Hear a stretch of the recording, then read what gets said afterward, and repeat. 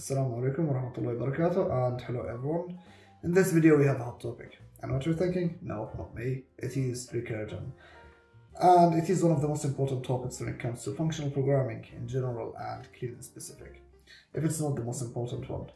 And moreover it's extremely complicated when it comes to newcomers starting programming and they're just blown away with this new concept, the concept of recursion. So please pay attention. And without saying much, this is Mohido, and please listen. When we hear the word recursion, the first thing that pops in our head is this and this.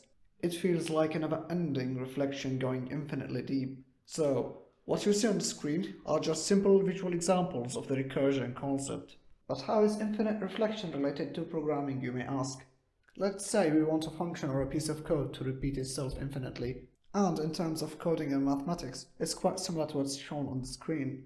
An infinite loop repeating itself over and over again. But why do we even want that? Let's say we're playing Dota or League of Legends, and suddenly we are killed and waiting for the respawn to happen. And while we are waiting, we have this moment of deep thought, similar to the ones we have in the bathroom while showering. And we ask ourselves, how do we even interact with the video? And how games are being created? Nonsense, wizardry, or just magnificent art? Well, we owe that to the concept of looping and recursion. So video games rely on keep drawing images again and again and again and again so quickly that the human eyes see these images as a video. So video games keep drawing images and they do that internally through repeating a large block of code infinitely. Until we rage quit and close the game of course. Embarrassing watching you miss creeps when there isn't an enemy around.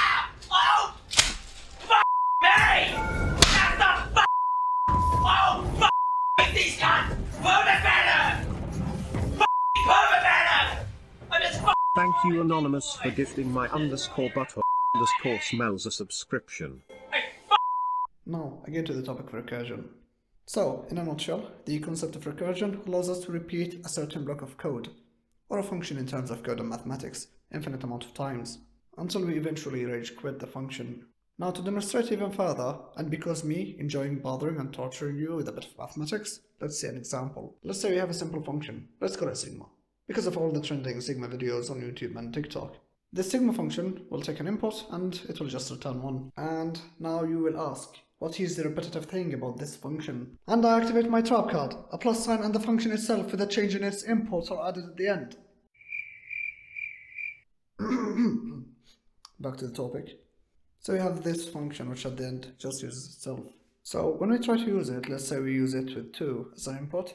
Now it will just keep going infinitely, adding 1 and 1 and 1 and 1. And it keeps going like an endless domino effect. In terms of computing, this is not practical nor useful in any means, because basically we will just hang our application if we try to use such a function. So we need to stop it somewhere in the middle of its execution. And we can do that by defining a quitting condition to the sigma function. Let's say we want the function to run until the input, aka x, reaches 0, or otherwise it will just continue the recursion. Well, in terms of mathematics, it's done with this weird notation that you see on the screen. So we just make the function equal to either the upper version, when the x is not equal to 0, or it will be equal to the lower version when the x equals 0. Note that the lower version doesn't use the sigma function, it just returns 0. So, let's try to use it again with 2 and see what happens. First, we will go to the upper version and output 1 plus sigma 1. And again, since the input is not yet equal to 0, we go to the upper version and get another 1 plus sigma 0. Finally, the sigma of 0 will just return 0. In total, we are left with 1 plus 1 plus 0, and it doesn't require a math genius to know that 1 plus 1 equals 2. So, simply put, and to rehearse, the process of recursion is when we reach the end of the function, instead of returning something, we restart the function again, we restart the whole process again. And we loop back to the beginning of the function and then the code starts sequential order again and then reaches the end and we go back to the beginning and it keeps going until we say otherwise. And how do we say otherwise? We say otherwise by defining some kind of logic thing to break the recursion and that logic thing is called if conditions. So let's see how we apply if conditions. To begin with, I already created a file called main and in this file let's create a function called sigma which represents the same sigma function we saw in the animation. We start by writing the sigma function signature. It will take an integer as an input and will output an integer as well. Since it's quite similar to the example in the animation, it will just take x and will return 1 plus sigma x minus 1. Let's try actually to use this function with 2 and see what happens. Well, we get a Stack Overflow thing in the console. It indicates that the memory of our application is full and we cannot store anything inside it. And it got filled up because of just computing the result of the endless recursion. So in a nutshell, we need to kill the recursion and we can kill it in the middle of its execution by using the if condition. We can say that if the input, aka x, is not equal to 0, then we want the recursion to continue. And otherwise we want to return 0. Note that the smaller than larger than symbol means not equal in clean now let's try to run our application again and it will output the expected result. However, there is also another neat way to do conditioning in clean, a better way actually, and it is by using the pipe symbol. So we add a pipe, then the condition, after that what piece of code we want to execute if this condition was true. So if x is not equal to 0, then we run the piece of code, otherwise we just return 0. So let's run our application again to check if everything is okay. To summarize, we have two ways of writing if conditions in clean, either by using the if keyword or the pipe keyword. But you may ask, what is the benefit of using the pipe keyword? Well, it goes down to organization actually. With the pipe symbol, we can write multiple conditions underneath each other. To demonstrate, for example, let's try to use the sigma function with minus 2 we will get a Stack Overflow, meaning that we have an endless recursion. And to kill the recursion, we can add another condition to check if x is smaller than 0. If x is smaller than 0, basically we return something. Now, if we try to run it, it works and we get that something. Now, let's try to put that condition below the second condition and see what happens. We get an error again.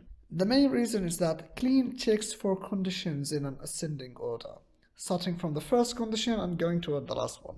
And guess what? First condition applies in our case also. So if any of the conditions is true, then that version of the function is executed. And since now we have considered all the cases, if x is smaller than 0, the first version of our function is executed. If x is not equal to 0, then the second version of the function is executed. If the earlier conditions were not executed, then the default version, which is the last one, is executed by default, which returns 0 in our case. Now let's try to do another example, as a form actually.